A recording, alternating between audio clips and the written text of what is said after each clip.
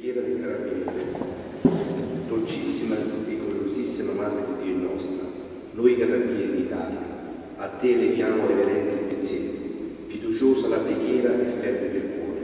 Tu, che le nostre legioni invocano con portatrice e protettrice del titolo di Virgo Fidelis, tu accogli ogni nostro proposito del bene e fanne vigore e luce per la patria nostra.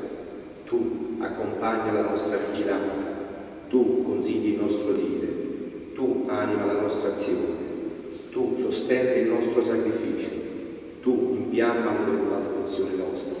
E da un capo all'altro l'Italia suscita in ognuno di noi l'entusiasmo di testimoniare con fedeltà sino alla morte l'amore a Dio e ai fratelli italiani